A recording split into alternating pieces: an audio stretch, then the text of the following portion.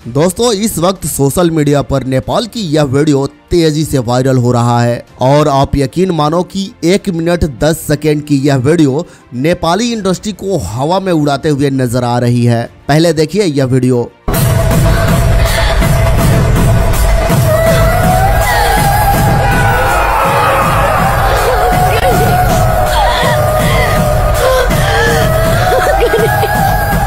सब समझ गया। सब कुछ समझ गया। हम्म, अपने डर पर काबू रखो। तुम्हें मुझ पर भरोसा है ना? देखो मेरी आँखों में देखो। देखो मेरी तरफ़ देखो। देखती रहो।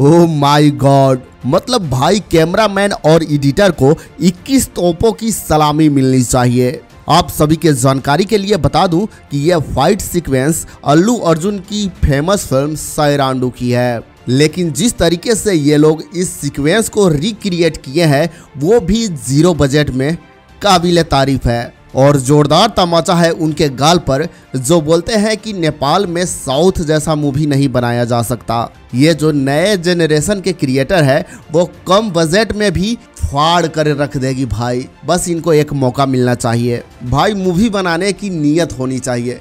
बजट से कोई फ़र्क नहीं पड़ता। एग्ज़ाम्पल के लिए अभी थिएटर में लगी अजय देवगन की फ़िल्म शैतान की ही ले लो। सिर्फ़ एक ही घर में बनी हुई फ़िल्म आपकी साँसें अटका के रख देगी। तो भाई फ़िल्म की स्टोरी, स्क्रीन प्ले और परफॉर्मेंस ज़्यादा मैटर करती है, ना कि स्टार और बजट आप इस वीडियो में दिख रहे लड़की या बच्चे को नहीं जानते बट प्रॉपर मेकिंग में बनी यह क्लिप देखकर आपको भी मज़ा ज़रूर आया होगा। दिल से बताइएगा आप लोग। दोस्तों, सिर्फ़ क्रिएटर की चाहने से नहीं, बल्कि नेपाल के ऑडियंस को भी अच्छे फ़िल्मों को सपोर्ट करना होगा। तब जाके कहीं ना कहीं इंडस्ट्री को कुछ भला हो सकता है। बाकी किस किस को लगता है ऐसे यूथ क्रिएटर को नेपाली सिनेमा में आना चाहिए? कमेंट करके ज़रूर बताएँ। वीडियो पसंद आया हो तो वीडियो को लाइक करें। नेपाल तथा नेपाल से जुड़ी ऐसे ही वीडियो देखने के लिए हमारे चैनल को सब्सक्राइब करें। धन्यवाद। आपका दिन शुभ हो।